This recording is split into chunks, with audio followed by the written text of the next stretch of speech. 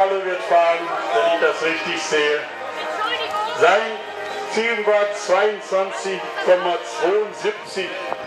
Der war sehr schnell und der liegt jetzt schon lang auf dem Teppich. Alles klar, fertig, auf die Plätze. Fertig, los!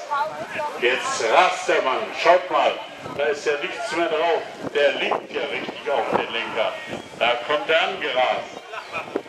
Ja, 22,72 war das erste Rennen. Jetzt wollen wir mal schauen, wann hier bei der 100 Meter Grenze erreicht wird. Oh, er kommt, er kommt, er kommt. Er kommt, let's go! Ja! Und wir haben die